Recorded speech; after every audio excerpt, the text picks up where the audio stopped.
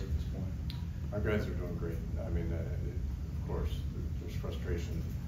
We're really close. Um, you know, it, it may not seem like that, but I know from being in our, our clubhouse and our dugout around our guys every day, all day long, like we're super close and we just have to keep keep going. So uh, they, our players continue to to do what they need to do, and uh, you know, it's it's difficult when you're not getting results. You get a bit consumed with the results. Um, and, and that's natural, but it's never uh, a great idea. So, um, you know, we just have to trust what we're doing and, and we'll break through.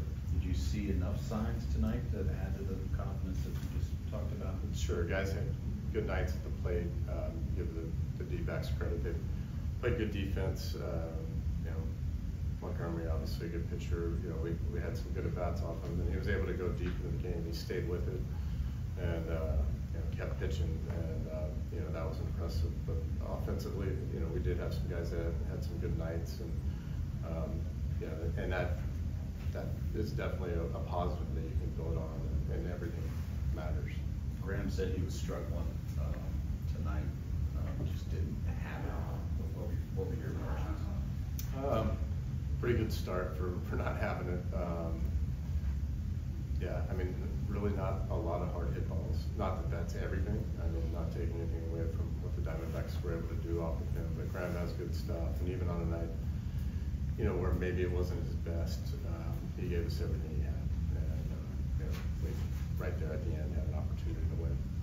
That was your first lead in a while. To have it go away that quickly, was that kind of a, a kind of a tough, tough moment to have that, you know, have it and then lose it so quickly?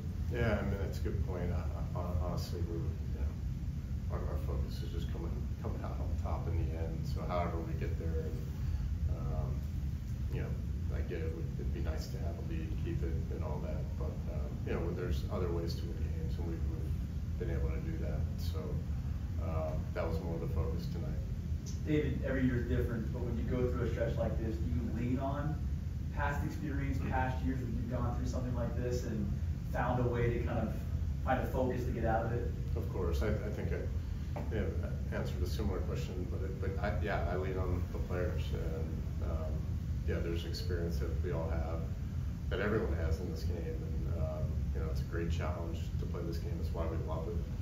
Um, it, it, it, it can be very difficult, um, you know, but but it, it tests you, and when you stay with it, and you know, lean on kind of what I mentioned to Jim. uh, You know, it's like very natural, especially with our players who care so much, not only about what they're doing individually, but you know, not letting their teammates down and want to do everything in their power to to succeed and get the results. Like right now, um, I would never want to change that.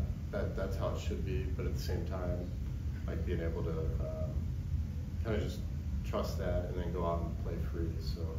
Um, we've done that as a team. Every single player in our clubhouse knows that's how you have to play.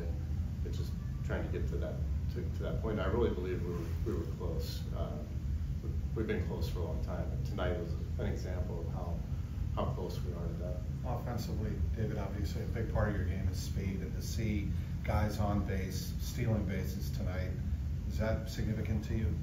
Yeah, I mean it, it is a big part of our game. Our base running.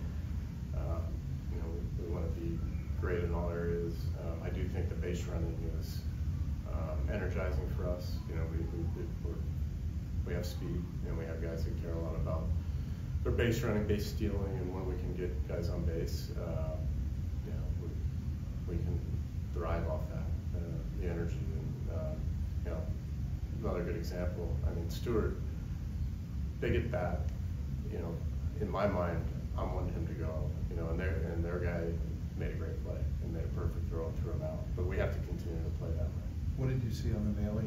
Uh, India's uh, hit to right field, and kind of one of those in between situations. Yeah, Afraid. It, it, it is, and I, and I said this directly to, to Luke, so I'm not saying anything behind his back, but when you're not a fast runner, you can get hung out to dry, and, and, and you're trying to do too, you know, too much because you, got to be able to get back. If the guy makes some great plays, you know, and, and you get caught in between. Um, and he was locked in. He understood the situation, uh, you know, and he just got caught in between. And a lot of that has to do with it's a little bit more difficult to run the base paces if you're not a super fast runner. Steer is usually so consistent. What are you seeing from him during probably his toughest stretch since his rookie year? Same thing, you know, it's, uh, you know, a great strength of Spencer, of, you know, being able to, um, care a lot, but kind of, then just kind of trust himself and, and kind of let the results come and, um, but we're all human, Spencer's human, and just like everybody else, you know, he, he knows he's an important part of this team and maybe trying to do a little bit more, um, than, is needed, but I love that. I love that about our team, and maybe holding us back right now, but in the end, it's gonna get us where, where we need to be.